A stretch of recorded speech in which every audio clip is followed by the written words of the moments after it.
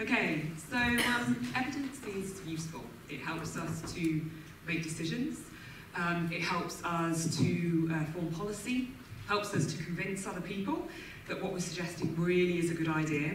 So one of the things that we're going to be doing uh, over the coming months and years at the Software Sustainability Institute is gathering evidence to underpin policy and best practice in research software engineering.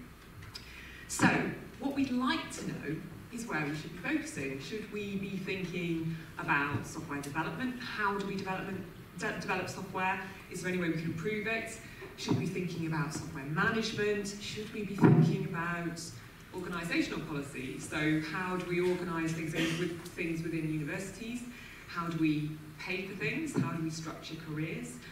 So we'd be very keen if could follow this link, which we will put on Slack and Twitter, um, to have your say.